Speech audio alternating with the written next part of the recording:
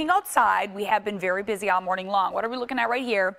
Well, this is live chopper three over that serious accident in Whitemarsh Township. Joshua Road is closed right now between Flourtown Road and Stenton Avenue. You can see multiple down poles are in play. A truck ran into those poles by the by the way, and they are saying that the road is going to be closed for several hours. So to maneuver around this, you want to take your alternate Butler Pike is going to be your best bet as this gets remedied for you.